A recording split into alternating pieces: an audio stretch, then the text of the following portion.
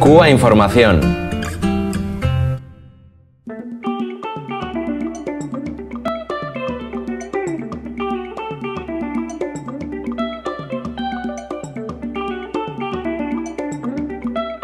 Bueno, mira, ha sido un proceso realmente de una amplia participación.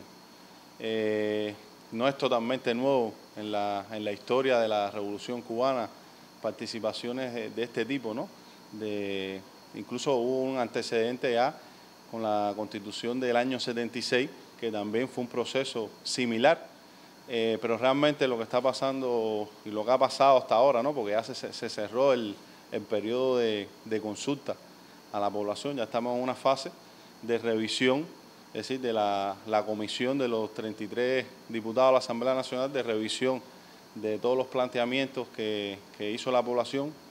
cientos de miles de, de, planteamientos. Eso se va a discutir a la, a la Asamblea Nacional y después eh, va a pasar el, el, documento ya final a referendo, ¿no? que ya sería un voto de sí o no.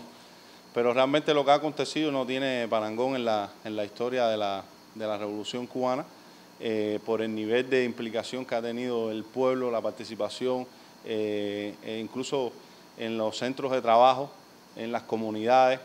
el tema de también que existan hoy las redes sociales, ¿no? el internet, que no, era, no tenían el desarrollo para nada que en aquel año eh, 76, ¿no? y eso ha multiplicado eh, muchísimo las opiniones, los debates, los intercambios, eh, en la televisión misma varios programas dedicados también a, al debate con, con especialistas, con, con, personas de, de pueblo. Eh, es decir, todo eso lo que ha hecho es eh, masificar aún más, socializar aún más todo el debate y el pueblo realmente se ha sentido constituyente. Eso también no tiene, si, si en la historia de la revolución este proceso no se ha visto con anterioridad, es difícil también encontrarlo en el mundo, ¿no? donde estamos acostumbrados a ver que son las asambleas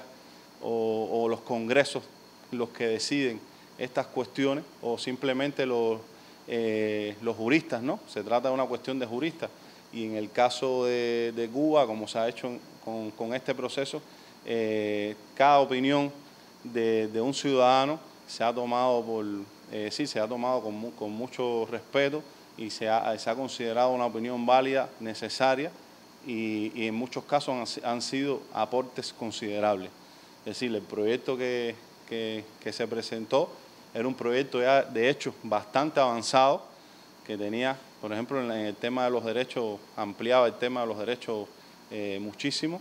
eh, introducía una serie de, cambios muy revolucionarios para, para el momento de, de, la Cuba que estamos viviendo, pero ahora, con esa inteligencia colectiva, con esa eh, sabiduría popular, también han surgido opiniones, criterios eh, que realmente han llevado a que este texto se, se, se, se, perfeccione. ¿no? Ese va a ser el resultado, un texto eh, mucho más perfeccionado y donde va a ayudar también a que se construya eh, el consenso necesario y el respaldo que hace falta para, para lograr un, eh, un referendo eh, con un por ciento de votación lo más alto posible ¿no? y de respaldo.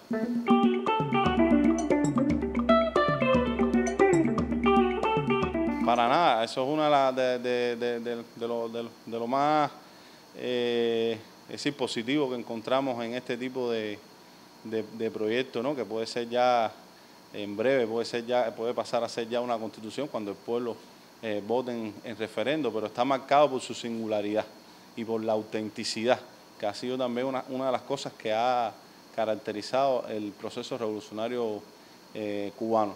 E incluso la revolución fue nosotros siempre decimos que fue una herejía no solo frente al imperialismo norteamericano, sino que fue una herejía también para incluso las prácticas socialistas, las experiencias de, socialismo que existían en el momento incluso que triunfa la revolución. Y yo creo que esa herejía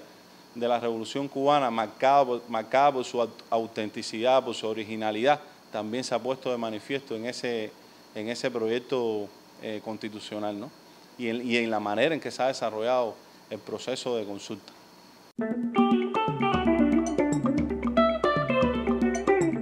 Ha habido un retroceso evidente en las relaciones Cuba-Estados Unidos desde, el discurso eh, de Donald Trump el 16 de junio de, del año pasado, que fue un, discurso lleno de retórica agresiva, parecía que estábamos regresando a los años 60, a los años de, más tensión en las relaciones, de más hostilidad de, parte de los, distintos gobiernos de los Estados Unidos contra Cuba. Y realmente nosotros decimos que fue una especie de festín, ¿no? O, eh, de un acto de complacencia, sobre todo, sobre todo hacia Marco Rubio. Eh, ciertamente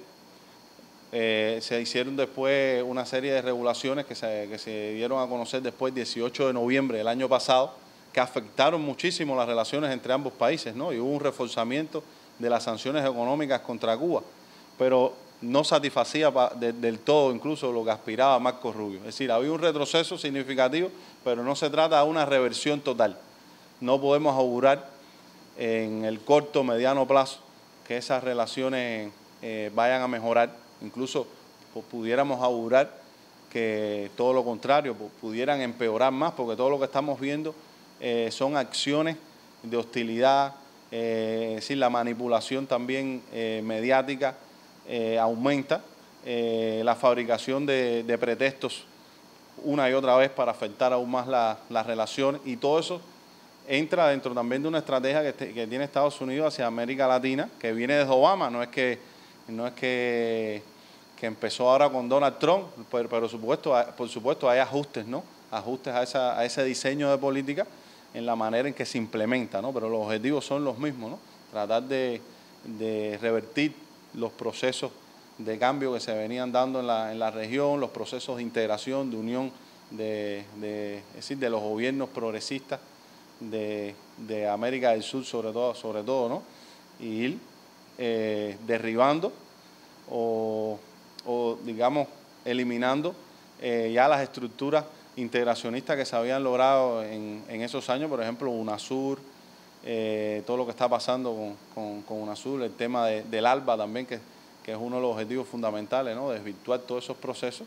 y el surgimiento de gobierno también de derecha en la región que hemos visto una gran ofensiva en ese sentido y cómo enseguida se articula esos gobiernos con, Washington, ¿no? Y es lo que hemos visto ahora con, el caso de, Brasil, de, Bolsonaro, ¿no? Lo que ha pasado. Y ya incluso antes de tomar ya la presidencia, los planteamientos agresivos contra, contra Cuba, las ofensas contra los médicos cubanos, eh, poniendo en duda la profesionalidad de, de esos médicos, haciendo amenazas y desconociendo en gran medida, porque cualquiera que, conociera la, historia de Cuba y las posiciones de principios de Cuba, eh, sabría inmediatamente que, Cuba no responde bajo lógicas del pragmatismo, sino que es una política basada en los principios, ¿no? Y por eso fue la respuesta tan digna que dio Cuba en ese sentido de retirar, independientemente de que sabemos que eso es un costo económico, porque precisamente había un acuerdo eh, bilateral y que tenía un beneficio económico para, para, los médicos, pero sobre todas las cosas para el pueblo cubano en sentido general. Y en ese sentido hay una afectación, pero como siempre Cuba, los principios y la dignidad eh, por delante, ¿no? Y esa fue la respuesta que, que dio nuestro país, que es una respuesta también que ha sido coherente con la historia de la política exterior de Cuba y como Cuba ha respondido en los distintos momentos, tanto en la década del 60, del 70, 80, eh, a lo largo de todos estos años. ¿no? Y, bueno, eso va a tener una afectación considerable realmente, lamentablemente, para el pueblo brasileño, que es el que más va a sufrir las consecuencias de estas eh, posiciones. La conspiración sigue, y no es decir, incluso ahora mismo hemos, habíamos, eh, hemos estado leyendo algunas noticias, el hijo de Bolsonaro reunido con terroristas confesos ahora, de último minuto, digamos, noticias que han salido en, Internet con terroristas confesos que han participado en acciones eh, de guerra encubierta contra Cuba, en acciones terroristas y haciendo amenazas, ¿no? Que finalmente van a, llevar la libertad a Cuba, que van a, derribar la dictadura, como ellos eh, llaman. Y, bueno, ha habido ya también, se, han salido a la luz pública también algunos contactos que ha tenido ya Bolsonaro con figuras de, la administración Trump y uno se da cuenta por lo que, por lo que se revela, ¿no?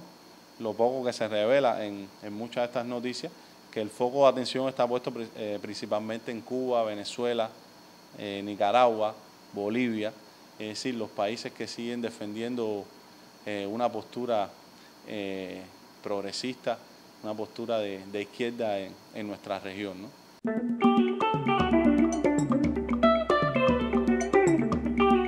Bueno, pudiera ser, pudiera ser lo que sería un acto realmente bastante, incluso yo diría, eh, defraudaría incluso eh, a millones y millones de brasileños. Sería incluso hasta contra el pueblo brasileño